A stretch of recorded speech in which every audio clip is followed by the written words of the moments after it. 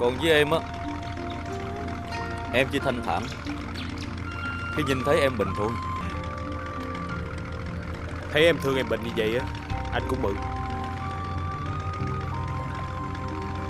Nhưng mà Đã chọn ngày lành tháng tốt cho em cưới Thiên Kim rồi. Anh lo là em Bình sẽ khổ đó.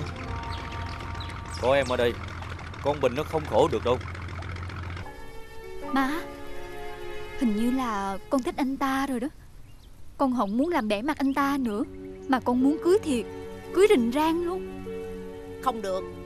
Kể từ bữa hôm nay Đứa nhỏ này sẽ là con của con. Đưa nó đây cho tao. Bà ơi con xin mợ bà Bà ơi bà. Tao cấm tiệc từ nay Không được léo hánh đến gần cậu ấm nghe chưa? Phòng của cậu Duy á Cũng không được bước chân vô Hiểu chưa Nghe rồi á Thì bước về vị trí con ở của mày đi. Sơ rơ nó làm gì? Đi đi. Ba đi con.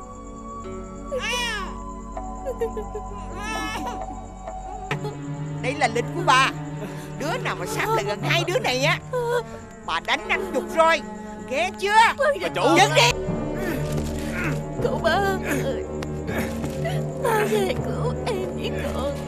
Bình Em gái này đi. Cứu người đi. Có ai ở đâu không? Làm ơn cứu người đi. Có ai ở đâu không? Bình Diễn biến tiếp theo của bộ phim truyện Việt Nam, Tiếng sét trong mưa 20 giờ từ thứ hai đến thứ bảy trên truyền hình Vĩnh Long 1